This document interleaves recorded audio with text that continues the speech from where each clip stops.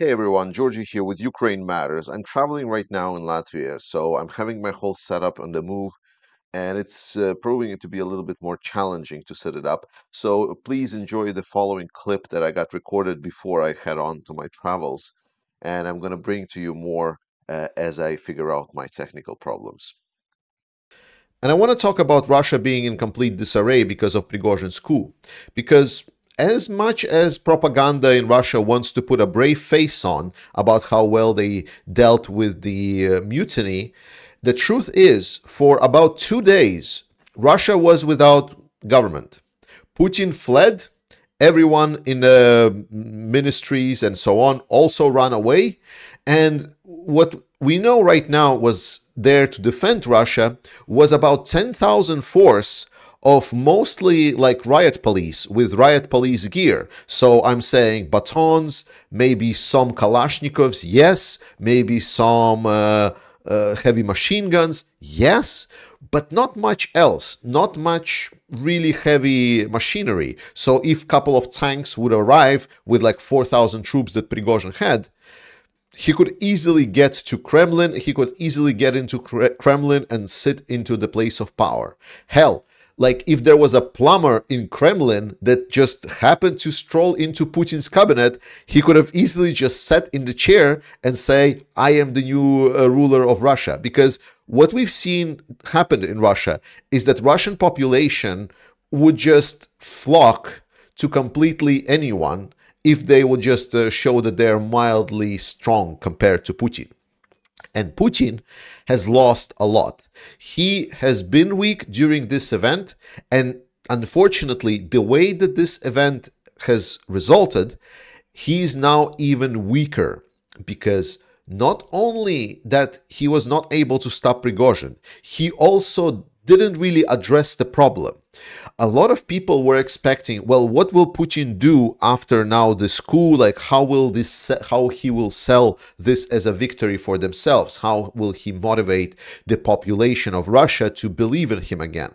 And the answer is he doesn't, because not only there are people that what were completely angry with Russian politics because they believe Prigozhin, and some of them still believe Prigozhin, some of them also are mad with Prigozhin, and they're now mad at everyone.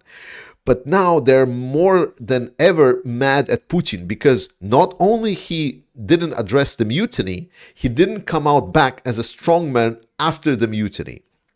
And this is creating a complete power vacuum inside of Russia. Now, there is not nothing that is challenging Russian control so far, but this is an immense challenge. It's important to underscore just how much in disarray they are, because right now we've heard that they're trying to do purges. They're trying to purge all the pro uh, pro Wagner loyalists. So a lot of these loyalists that were working with Wagnerites at one time or another are now being detained. Like, for example, General Surovikin, the bald guy, you know, he was uh, supposedly arrested and is now being detained for treason.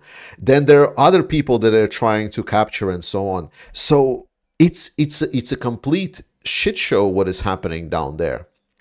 And more than that, we see that, for example, Zolotov that actually has the quote of the week uh, as like a slight departure. So there was a joke when the war started that after Russia was not able to capture Kiev in three days, that the joke was that if Ukrainians would then go towards Moscow, then Russian politicians would say, okay, Ukrainian we'll let Ukrainians uh, capture uh, like Rostov, Voronezh, Kursk, and everything else, but we're never gonna surrender the the Moscow. So it's like a joke that like nothing matters for them. And the the, the fact is that this Zolotov guy, the the general that commands the the Rosgvardia, which is the riot police force, he he basically said that, oh, so you know, we've heard that they took over Rostov and Voronezh. Uh, and this is, was terrible, but uh, we need to conserve our force, so we would never let them take Moscow. And this is funny because uh, it was a meme before that, and now he basically uh, said the meme in reality, and everyone laughed at him and this is basically the easiest way to describe the current situation because now Zolotov claims that Rosgvardia should have their own tanks and because they don't have tanks like why would you need tanks to fight uh, civil crowds and now apparently you do And now the question is, where would these tanks come from? Where do you think they will produce the tanks? Well, it's two places. It's either the front lines or the factories. And wherever you go, that means that less tanks are going to go to the front line to fight Ukrainians. And this is the scale of, of problems that is just growing in Russia. The problems in Russia will continue being escalated. Resolution that was achieved with Prigozhin in no way stabilized the situation in Moscow. And we're going to see round two. Now, I'm not sure if it's going to be a mutiny or anything else, but there's going to be a resource drain on what's going to happen in the Russia because a lot of the Russian focus, and especially Putin's focus, has been switched from whatever is happening in Ukraine to whatever is happening inside of Russia. Putin has been performing like a speech after speech after speech.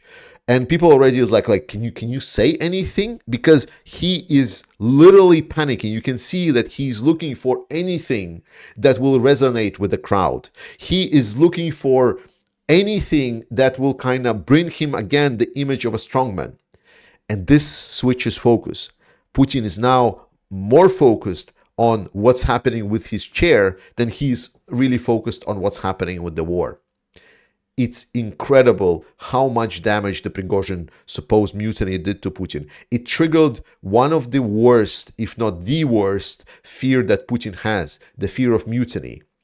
This fear appeared in him when he was uh, in Berlin because he was there when the uh, when the German uh, Germans took down the Berlin Wall. He was one of the KGB agent in the area. So when the angry crowd came to his place, there are many many records that this is was the moment that defined Putin and his fear of of an uprising like this this is a deep seated terror for him so when Prigozhin like someone that he trusted uh, supposedly trusted you know someone in his court started mutiny against him it's it's really tapped into his uh, his terror factor his absolute fear.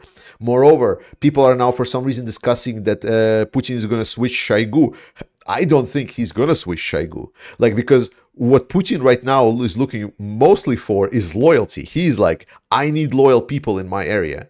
So, as much as Shoigu is shit, as much as Gerasimov is shit, they were staying loyal to Putin. And that he can see. And I'm pretty sure that he is not going to be willing to change the cards right now when he's so uncertain of the future.